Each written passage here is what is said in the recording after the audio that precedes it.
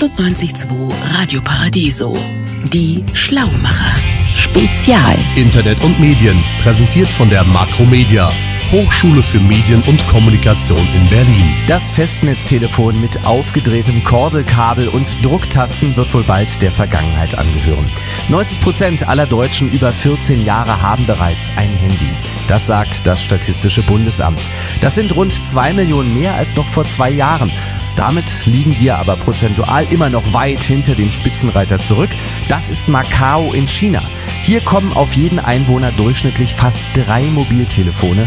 Allerdings leben auf Macau auch nur knapp 500.000 Menschen. 98.2 Radio Paradiso. Die Schlaumacher. Spezial. Präsentiert von der Makromedia. Hochschule für Medien und Kommunikation. Studiere Medienmanagement und sichere dir eine der letzten Studienplätze plus Berlin-Stipendium. www.paradiso.de